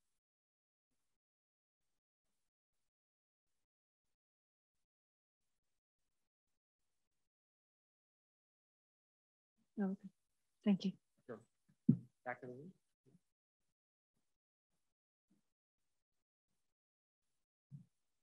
Yes, I'm glad you decided that the two committees should talk rather than vote tonight. Um, it kind of seems like sometimes um, some committees don't know what other committees are doing with their subcommittees. So how we can streamline that process to let the others know, because this is super important. um, and then I just wanted to clarify a developer would be leasing the Portola Valley land, not giving our land away to a developer. Is that correct? By what you were suggesting with number three? I mean, it, it could be either. It could be a land lease. It could be a uh, purchase. It could, uh, yeah. I mean, I think that would be up to the town council. Okay. Um, and then I thought of an idea of hiring a real estate person to look for any available land so we don't miss purchasing it ourselves to have the land to uh, put low income housing on. So not only hiring a consultant of a developer, but let's look at what land we can buy when it becomes available because it gets snatched up so quickly. And I think we need to know, number one, where the land is being sold in our town if we need land for affordable housing. Um, and my fourth point was when you deed restrict, you have a choice of the number of years. So some of the laws are saying 55 years, but you can say 99 years or you can say in per, perpetuity. So you know, what do we want? Do we want it forever? Do we only want it for 55 years? Do we want it for 50? I, you know, if we really want to have it here for the life of this city, of this town, then we need to look at that. And then also, it's been raised that the JADUs uh, and the ADUs financing a small amount of money towards those um, so residents can get them up and running. And there's been comment of PG&E, the lines are so much and um, so costly that it prevents them from even fixing it up to rent it out. So I think that is something we definitely have to look into since there's a lot here already and uh, some people just can't get it up and running as they need to for the state. Thank you. Oh, thank you. Um, we'll move online. There's some hands up and uh, Betsy, we, we haven't heard from you today yet, so we'll start with you. Hi, Betsy. Thank you, George, and thank you, committee and subcommittee for the thoughtful work you've put into this. Um, I wanted to begin just with my understanding from what I heard um, your, of your three options. You chose number three based on, on it, its ability to deliver quickly. And I, I first I want to check my understanding because I didn't hear you put up any other qualifications that that caused you to uh, want to subsidize the developers other than that you wanted to get the money out and to work for the community as quickly as you could. So um, if that's correct, I'll continue, but if I might be wrong. Yeah, I don't, I don't, I don't think that was um, the main rationale. Uh, certainly my understanding was that that's the most probable. We've already had a developer request subsidies. Yeah. As other developers are developing multi-unit houses, they're likely to do that. And so we have the opportunity to maybe steer some of those units into a lower income category than they would be otherwise. Whereas the other two possibilities, um, certainly number one depends on some sort of singularity where we have um, a, a, an unusual opportunity at a large area of property that we could potentially afford to buy, which is unlikely in the town. Uh, number two is predicated on the Dorothy Ford Field project going forward, which is kind of in a sunrise state, I understand it now, still a bit of flux, and therefore trying to use those funds to make it less, um, uh, make it less of a visual impact for everyone and as just another idea. But again, that's lower probability than what we think is likely, which we're already seeing. What, what is lower probability? I, I, to understand. Well, lower lower probability to uh, find a big parcel of land. That's number one. Or number oh. two, have Dorothy Ford Field already under development. And the idea is given we have to do this thing that many people don't want to do, uh, how could we make it as visually unobtrusive as possible by adding some funds to that? Which is why number three looked most promising because it was a deliverable sooner. Well, uh, and you can and you can work them in parallel, right? As you're pursuing number three, you spend a little bit at a time as projects come along, and then you still have the opportunity to go for the big one if something happens in that area. I, am more or less following your rationale, and I would like to just put forward um, some concern that the project, if as you um, imagine, number one is infeasible, and it, I, I haven't heard any um, ideas yet that that caused me to form a different conclusion. Sadly, um, if it's infeasible and if we are to proceed at that site at anywhere near the density that we're envisioning, um, it will have by far the most visual impact um, upon the town of any of the projects. I hate to see us favor speed when that project will essentially eliminate, because in favoring current developers, and I love Willow Commons, mind you. I love I'm a huge fan. I think it's marvelous. And I don't want to discount the import of, of the Dorothy Ford Park and how um, incredible it would be to underground parking or do other things that will help ameliorate and bring around the community to a big, hard swallow uh, about what's going to happen there. So I'd like to level the playing field in terms of time and extend this towards the end of that sunrise period. So we have more confidence that it will be, uh, um, that Dorothy uh, Ford Park will be in the play, in the field um, for consideration of these funds. Thank you. Thank you. Um, Rita, I think you're next. Hi, thank you. I'm in the same situation, so hopefully you can hear me. Uh, Stephen, thank you for projecting uh, your presentation. I could actually hear every word you said, and if the other members of the committee can please speak into the microphones, uh, it would greatly Stephen, help. Stephen Thank has you. the radio broadcaster. Yeah, voice. my, Yes, my kids, yes. My kids would understand what you're saying. Okay, so if, if others could move a little closer to the mics or closer to the table, it would be greatly appreciated. I just want to say the last copy of the, the current draft of the housing element has the same money mentioned, uh, you know, like three different ways, spent three different ways. And I'm not sure if this particular committee members, you know, the ones that were on the subgroup, uh, have looked at that recently. But um, I, I just strongly suggest that if um, maybe somebody from um, planning can speak with you, uh, speak to the subcommittee about the three different ways that it's named in the current housing element and the different ways that every single dollar of that money has been spent or promised in the housing element that's being sent to HCD, uh, it would probably help with uh, the decisions that this group is making. Thank you. Great, thanks, Rita. And, and we will talk about that in the meeting we're going to have with the town council subcommittee of the IHF subcommittee here. Um, let's see, David, you have your hand up. Sure. I, I, I'm impressed. I think you guys have a great plan. Um, it's not simple to decide how to spend the money. We've had it for over a decade and have spent nothing from it. Um, so the idea of subsidizing developers as plan A, if we can get them and they want to do it, I think that's great. Um, if a swan appears white or black and we can buy some property which we already sold to get the money um, that we can develop on, that would be great.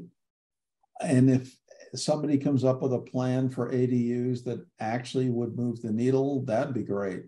So uh, to me, I think whoever is in charge of spending the money has to have a little flexibility and some priorities. And we'll just have to see what happens down the road. But they've got to be able to go forward and see what's best for us any given year. And I think your outline of the priorities is is a wonderful start. So thanks for doing your work. Thanks. Thank you. Betsy's hand your, is back up. Yeah, thank you so much for recognizing me again. I'm sorry, I forgot to say that, or or I didn't say what I what was on my my mind. Um, the if this were to proceed and we were to eliminate that first um, possibility, well, this would if we if we do not use this money for option number one, there's a zero percent chance that we will not use Dorothy Ford Park. So I hate to close that out. At, I think to close out that possibility at this stage of the game and to recommend that that be closed out at this early stage of the game is a signal that is would happen far too soon. I think we need to, in order for the um, sunrise provision to have a chance of bringing this community together, it needs time to work. So in deference to that, um, I would urge us not to proceed at the full speed ahead approach. Thank you. Yeah, thank you. And, and I would just want to mention that um, item three doesn't mean that all the funds go out all at once. It's as people are proposing and executing on developments, which will take a considerable amount of time. That's all. So our hope is that we can pursue both. And then, you know, if my dreams came true, number one would come to fruition and we would all pivot in that direction. But um, hope is not a strategy, as we say in business. And Um, dreams need money. Very good. So um, I, I think uh, that closes out item E. Uh, the plan going forward is for our subcommittee to meet with the town council subcommittee. And then we'll explore this some more. The town council subcommittee will also meet with the racial equity and diversity, uh, racial justice committee. Um, what, what's the exact title of it, Lucy? Race and Equity Committee. Race and Equity. Thank you. I keep saying it wrong. All right. Um, so we will do that. We now have as our final agenda item uh, the proposal for simplifying and clarifying committee operations. And this is, um, uh, I think, colloquially known as the Committee of Committees.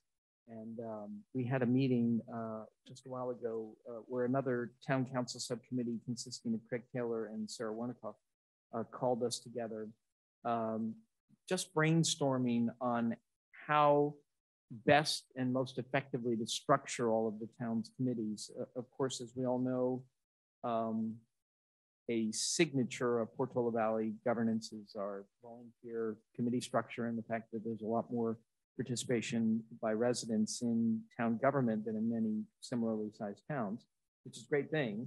Uh, but we also are aware of some of the um, uh, bureaucratic requirements of the Brown Act. And um, so the brainstorming here um, on the committee of committees was to think about whether alternative structures for some of our committees would make sense. And as in the handout that was in your packet, um, uh, I'll first mention that they wanted this to be on the agenda for all committees so that we discuss it. And the idea was to solicit input, not to make decisions at this point, but they're very much in sort of information gathering and brainstorming mode. Um, but there's a table uh, and it demonstrates that there are Brown Act committees, which are the way we're all constituted right now. And then they're uh, proposing or thinking about the idea that some committees could be non-Brown Act committees. And the way that would work is they would be a subcommittee, they would be appointed by a subcommittee of the town council, not by the town council itself, which would relieve said committees of some of the requirements relating to the Brown Act then there would be something that would be even less uh, controlled, we call a group, uh, and that would be open membership, et cetera, et cetera. So for our purposes, from my understanding, looking at this in the finance committee, uh, a group membership doesn't really fit our role here. Uh, the key thing for us to think about um, would be whether we wish to remain a Brown Act committee or whether we might consider a non-Brown Act committee sort of designation. Um, in essence, my understanding of, of the non-Brown Act uh, designation is that not much would change functionally the way this committee works with the um, sole thing that we might operate a bit more informally as frankly we did in, in years past um, where there was just a little more flexibility on agenda setting um, and some of the communications. Uh, there, there still would need, be noticing of meetings and transparency and all the rest. Uh, but it would, for, for instance, allow the potential for committee members to participate virtually as well. So if you were on a business trip and you could meet from a hotel room, you could do that rather than we all have to physically be here. And, um, you know, uh, personally, given I've just run into my business travel schedule in Europe blowing up my um, uh, scheduled for late May, which I already told you about earlier, that would be a real benefit uh, since that would make it easier to do the meeting from, from mm-hmm. somewhere. Hours away. Sure, why not? Stay up. Start in the morning. Just just jet lag yourself one day rather than take a trip. It's always preferable. Anyway, so um, you, you with with that by way of an you know introduction, I'd love to just solicit opinions from everyone here in terms of whether you think this idea has merit, um, whether we might fit into one of these bins or whether you think we should just continue the way we are, just get a sense from everyone on what you think.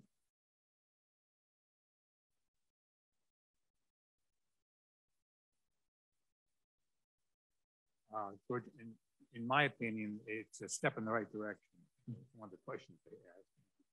It is a step in the right direction. Um, and I, I liken it a lot to um, the way we dealt with the financial disclosure requirements that this committee uh, objected to a couple of years ago. And uh, we resolved that by saying we just won't um, recommend any specific actions. Um, and that way um, we made it less burdensome. And I think that being a non-Brown Act committee would be useful.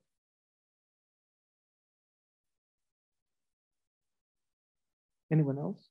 Well, I certainly agree. Any less burdensome, what's the word, burdensome, is that a? Um, would be welcome. I guess minutes would still be required. Oh, yeah, we would still. Uh, I keep see meetings. that. Um, Would that mean we could send emails and respond to them? Do you know, um, I would have to solicit advice to make sure that that was the case. I, I think, Because that's all brown, I think we would be able to, yeah, there, there wouldn't be a reason. But of course, um, the, the only reason why I emphasize that we would keep things as they are, we wouldn't want to transact substantive business because we never did that in the past anyway. We wanted to have meetings of the committee. But the point is, if three of us, you know, copied one another on a message, it would no longer potentially be a, a violation of law.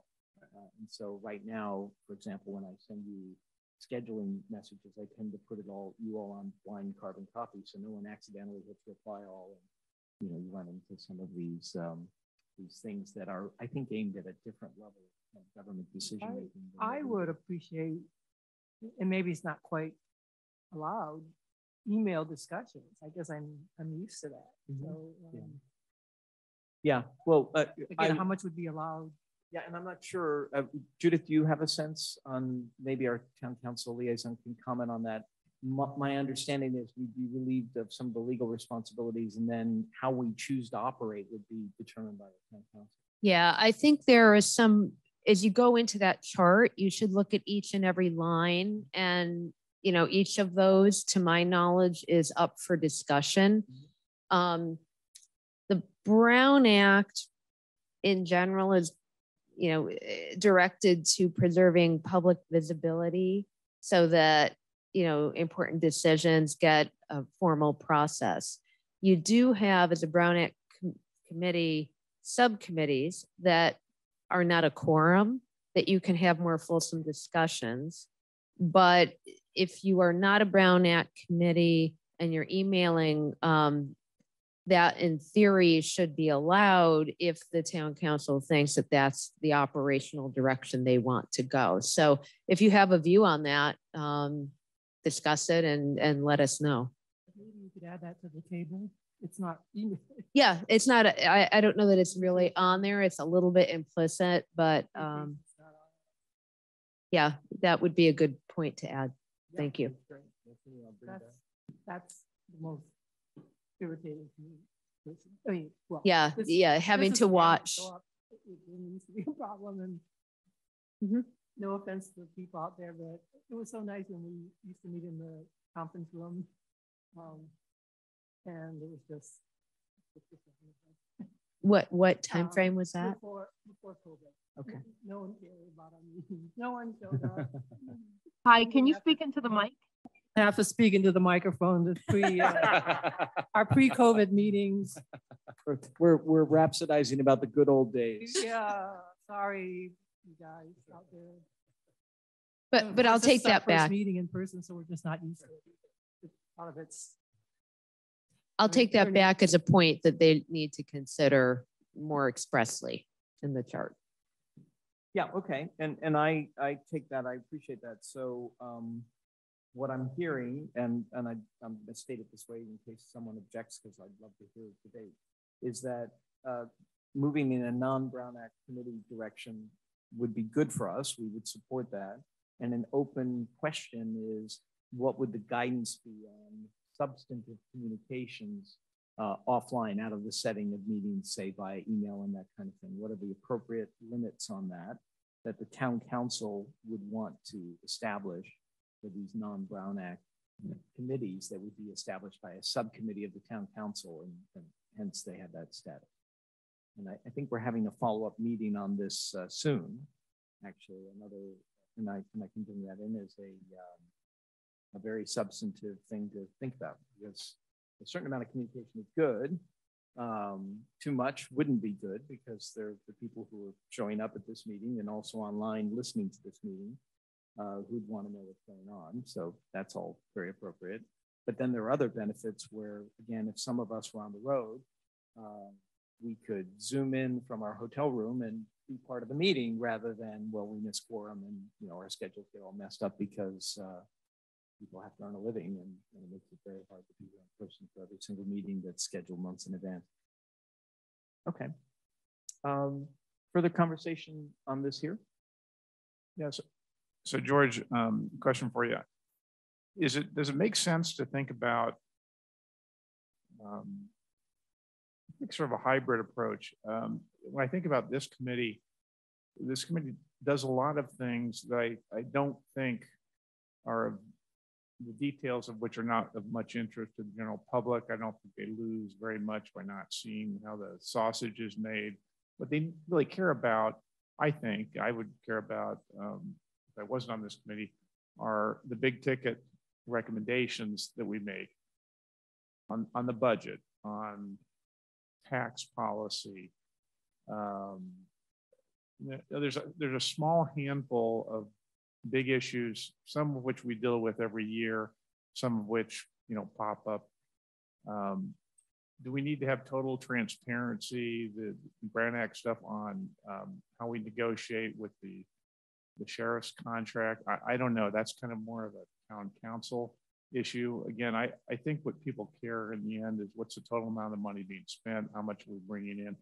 Uh, do, do people want to look in on the details of reviewing stuff with the auditors? What they really care about is did we spend the money properly in compliance with the law and was every dollar accounted for and in the right fund? I mean, you know, so there, there may be a, series. So what I, I guess what I'm getting to, there may be a series of topics or issues that we have, we should always handle at the full scale Brown Act level, but a lot of other uh, issues that don't rise to that level, it'd be easier to work on more collegial, three or four people can get together and talk about it. I, I don't know if that's something that, that would appeal to other committees as well, but I think a lot of us, you know, have a 2080 thing. 20% of the stuff we work on is the most important stuff the public cares about, and the other 80% is stuff we have to do to run a, you know, a town. Yeah, I, I think one um, one way the current proposal would encapsulate some of what you're saying is just the agenda flexibility where you would be able to just mix and match. We wouldn't have this formal setting where you can only bring up certain things that have been noticed. And in other words, we could cover an extra issue right now mm-hmm. uh, in the minor category. Other stuff from the committee? Comments from the floor or the on online community? Oh, yes, Christine. Oh, Caroline, I'm sorry. I knew it started with C. No, that's okay. Thank you. Um, I think Mr. Urban made a very good point. Um, and, and remember, we had a different budget five years ago. We started coming to your committee because we have concerns. Um, there's also, I believe, with the previous town council, some authority, and I think more authority was given to the town manager and we did not know where these funds went. And then we, as the residents, brought up major concerns. As Christy said earlier, you know, we have so many issues with our infrastructure and nothing gets done. Um, we're very concerned to the older population, the non-working population. Where will they get the funds to upgrade their housing? Um, there's so many issues in this town, and that's why um, we are volunteers. We like to work with several committees, but we feel there was also a loss of communication among the committees and people did not know exactly what was going on. So if we can have more collaborative effort among all the committees, so all the issues are up front and we can all work to resolving our budget and resolving all the issues that are going on. Thank you. I think that's um, some really good points. Um, and, and indeed, part, part of what a non-Brown Act structure could help is all of us communicate better, as Phil was talking about. What the one reason nobody knows what anyone else is doing is because they're very formal processes that make make it difficult, if not impossible, to informally just check in and find out what's going on. So that, that's a good point. Um, if there's no objection, what I'll do is I'll take this back to the next uh, committee of committees meeting. You know, I think it's in a couple of weeks. It's sometime in May, and and I may have to ask one of you to go in my place because I think I'm in Europe. Um, Are you attending oh, good. You may, you may be able to, to carry, carry, you may, you may be able to double dip for us then. Uh, and that would be great. But if you could, uh, carry forward and, and I'll communicate with you on this, but, um, these items here that have been discussed about communications are. Yes.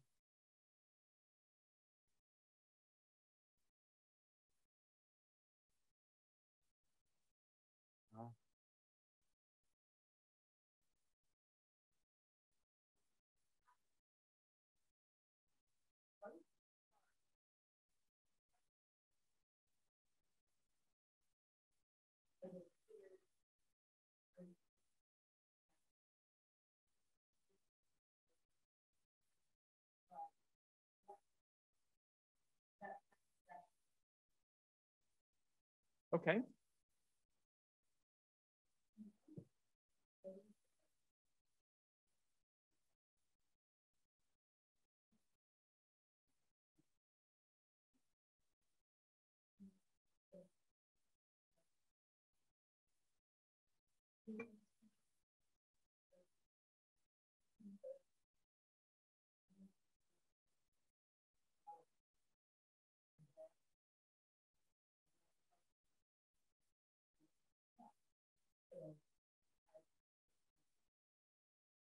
Okay.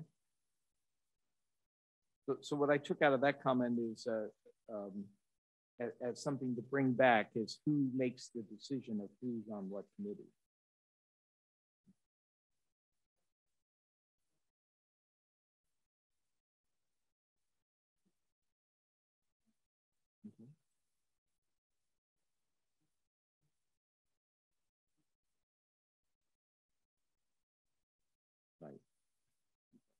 And, and you also think certain committees are required, are required um, to be Isn't it something about what's in the town charter or some sort of document?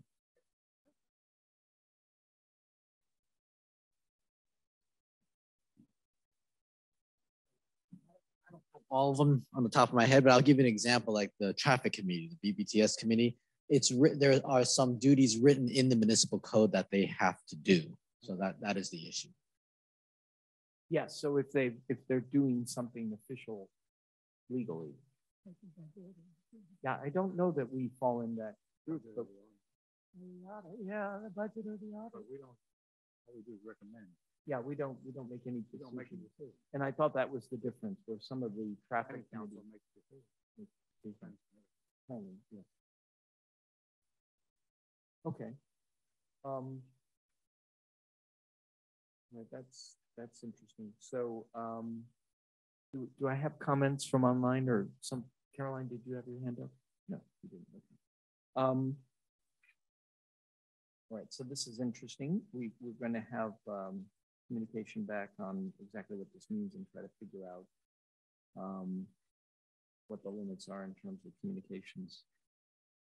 And that's what I'm- Further comments? Oh, I'm sorry. That's right. Yes, I knew I was blanking on something. Um, The three, I mean, action minutes is what.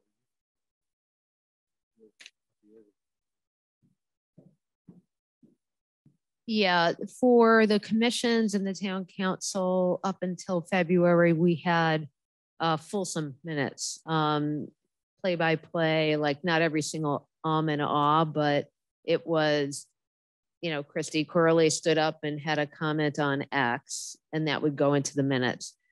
They have gone to action minutes now, which reflect that Christy spoke, but not what she said. And similarly, it would not have details of three members of the committee thought X and the rest thought Y. It would just say a vote was taken. Here's the outcome and um, and no context around it. So in order to get that context, you'd probably have to go back and listen to the, the video if it's a commission or or the town council but for committees, um, you know, I don't, you have to look back at what you found helpful in your role as a committee member. Do you ever go back and look at those? If not, maybe keeping it simple is better. Anytime you want fulsome minutes, you're adding to staff burden and cost. So there's a balance, right? You just want to, and that's why it's important for you to have a view. Or if you don't have a strong view, that's okay. But we we'd like to understand that because it's How do you distinguish between action and summary? Uh, what are the three categories? Verbatim, action, and summary. And verbatim sounds like just what you described. Yeah. Action, you know, you also described. I it th- with summary. I suspect summary, and I don't know what was intended. Um, I suspect that means the following topics were discussed at the meeting. Like I think that's because it's in the third column, right? I would imagine it's just a very casual. These these topics were discussed without who said who who spoke at the meeting and what actions were specifically taken. Does that sound right? Okay. I'd not heard of those before, but new new territory for us. Well, I, I certainly think verbatim minutes are over the top. I mean, um, sometimes I get close just because I, I, I, I write, well, I just write minutes and uh, figured more is always better.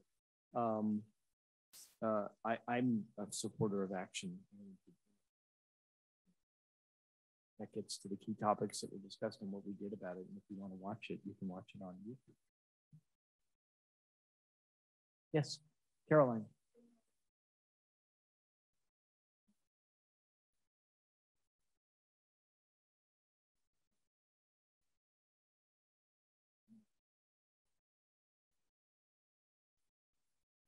Oh, so there's a hyperlink to the recording with the minute. That's a that's a cool idea. Um, can can we take a note of that? That is a neat idea. Thank you. Okay. Does does everyone agree that action minutes sound like a good idea for us? or- I didn't used to think so. Um, uh, I remember we had a discussion some years back on the same topic. I, although I don't think it came to the committee, I think um, we were just asked individually. And um, I found that as a committee member, action minutes didn't give me enough information or sense of you know what the issues were and what the conflicts were and where the compromises were and what the alternatives were discussed. I didn't learn anything um, from that that couldn't be you know published in a, in a website or something. Um, the the summary minutes, the way we used to, the way they were written from the last meeting, for example, um, is what I think of as summary minutes, where you get some context of the issue, who may include what people said, what they felt about, um, who had a different point of view, and then the vote was taken. We had this result. It's a good historical record if you're a committee member to have that and be able to go back and see how people felt about things. Without that, just based on action, what we voted on, you could have a very short, you know, summary with no way to get a historical perspective. So, um, now, of course, when I'm the one who's having to take the minutes, I always favor the action minutes, right? Because it's easier. It's it's there's no question. It's a lot of work to you know to do it manually or on your computer, um, but it makes it much more valuable, I think, to all the other um, committee members, or at least for this committee. It may not be true of other committees. That's fair. Um, so what I'm hearing, um, and love to hear more from people, of course, but what I've heard so far is verbatim sounds out. We. And what, and what we're sort of uh, arguing the merits of is between action, which is very efficient, but as Bill just pointed out, lacks the context that we're used to in summary. Is that fair? Yes.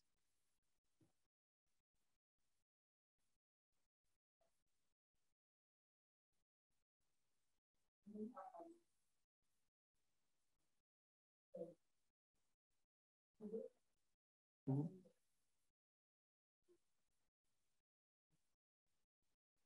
Yep, uh, I, I see that. You, you want to have input. Um, and, but I just do want to point out that even summary minutes don't have every person. Some, sometimes several people who make similar comments get concatenated into members of the public, including the following. This was discussed, but but it gives a flavor. It's just not a transcript. Okay. Other comments? Right. Anyone online? Anyone in the room? Any other business? Well, that's on the agenda. The one, the one other business I would mention is that at previous meetings, we talked about um, doing a revenue generation brainstorm. And I don't think we've quite done that yet or focused on that. And in light of what we've heard today, that seems like a good idea to bring to a future agenda and maybe just as individual committee members tutoring about our days, we could sort of keep it in mind. Yes, and um, thank you for that, Lucy. Um, that was part of of the original agenda for this meeting before Jeremy and I was leaving, and then Right. that's why we tabled that. But we will get back to that, and uh, even even if we wanted to not get back to that, we're going to have to get back to that, Yeah. right? Given what the sheriff's department is bringing on. So, all right, with that, uh, with nothing else, uh, we'll call the meeting adjourned at uh, five eleven. So thank you, everyone.